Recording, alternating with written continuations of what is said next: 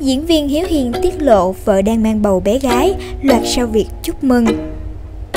Diễn viên Hiếu Hiền cho biết lúc trước vợ đi siêu âm là con trai, nhưng nay bác sĩ xác nhận 100% là con gái. Hiếu Hiền và bà xã Thùy Liên đã kết hôn được hơn 10 năm, tình cảm ngày càng mặn nồng, hạnh phúc. Cặp đôi hiện tại đang có hai con, một trai và một gái. Vào tháng 7 năm 2016, Hiếu Hiền từng tiết lộ vợ mang bầu lần 3.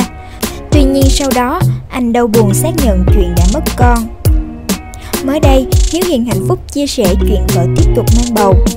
Vâng, kính thưa quý vị, là siêu âm đợt trước thì được biết là con trai và đến hôm nay thì siêu âm lại 100% là con gái.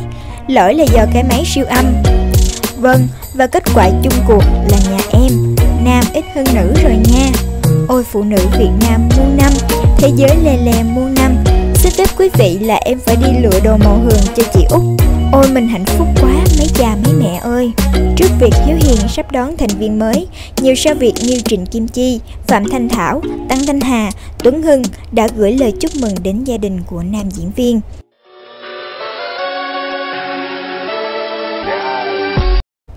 Cuộc hôn nhân của Hiếu Hiền và Thùy Liên gặp nhiều sóng gió, nhất là về việc Hiếu Hiền hơi kém sắc thì bà xã lại rất xinh đẹp. Gạt qua mọi thị phi, đến hiện tại, cặp đôi vẫn sống rất hạnh phúc và có hai nhóc tỳ khấu khỉnh. Tôi hãnh diện vì có người vợ đảm đang, chịu thương, chịu khó, chăm lo cho chồng con từng ly từng tí. Vợ và hai con là những viên ngọc quý mà tôi sẽ luôn gìn giữ, bảo vệ cẩn thận. Với tôi, cuộc sống hiện tại là một màu hồng, Hiếu Hiền chia sẻ. Khi nói về việc vợ từng vướng vào nhiều ồn ào, Hiếu Hiền cho biết không ảnh hưởng gì cả.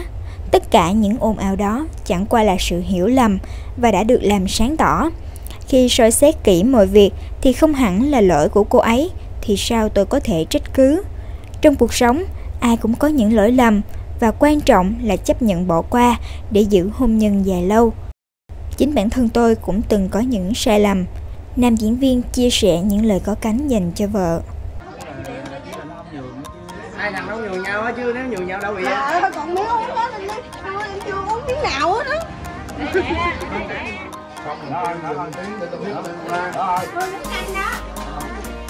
thôi vậy rồi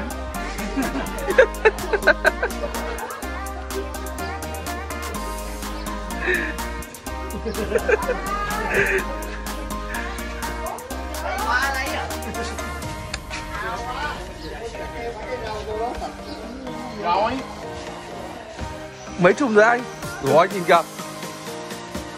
Thôi cái này nó thu gom về ta bán lại mùa này mùa dịch mà.